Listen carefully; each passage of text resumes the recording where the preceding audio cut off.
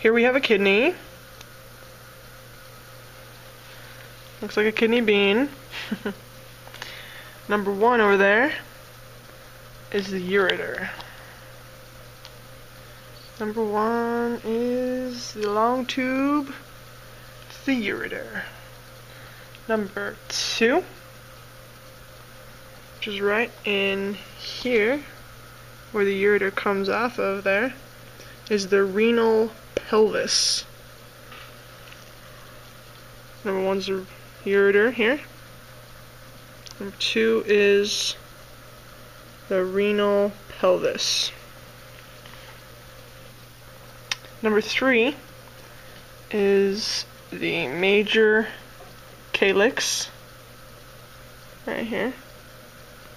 Major calyx. Number four is a minor calyx. So it's like the big branch and then it breaks off into like two other smaller parts and that, so those are each a minor calyx. Major calyx, minor calyx.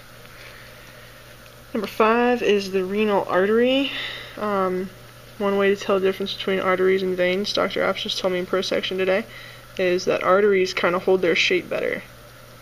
The um, veins are more of a like sinus, like weak-walled sinus, so they they're more floppy. This is pretty rigid and tube, still tube looking. So that is uh, renal artery. Number six is a branch that comes off of this renal artery. So that is a segmented artery. Renal artery, segmented artery. Then we have the renal vein, which is this more floppy more squishy. It doesn't really hold its shape as well. Number eight is the renal vein.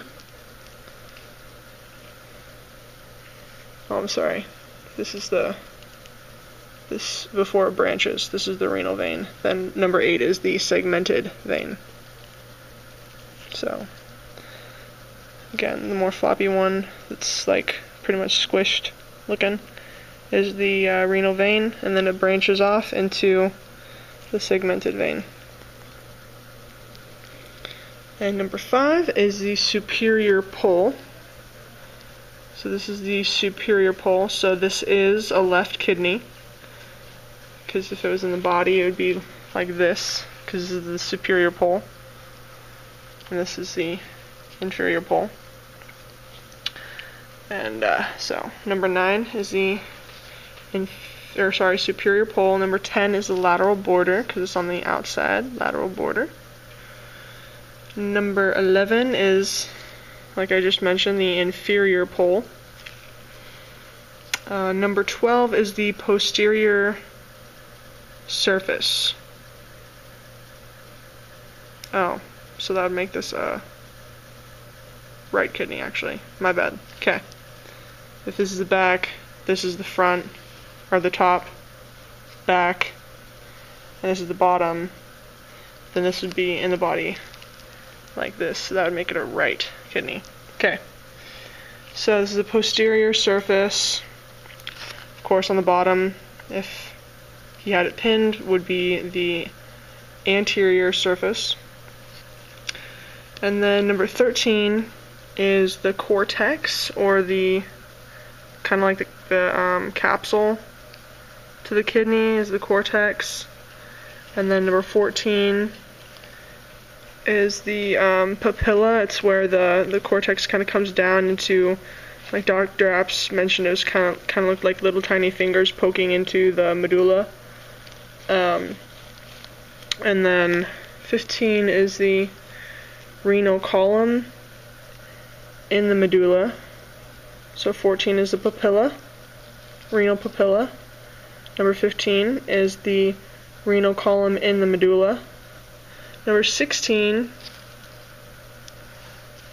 right in here, is a renal sinus. So it's like that opening in there. It's pretty pretty clear that that's like a an opening, a renal sinus. And then number 17 is the polar artery. Number 17 is a polar artery. So it's coming off of the um, superior portion of the kidney on the uh, more medial side, near, kind of near the hilus there. That's the polar artery. Number 18 is this very faded, sad looking tag, um, and that's pointing out the renal hilus. So I'm not quite sure. I thought, hmm. Anyways, number 18, renal hilus. Okay. And that is a right kidney.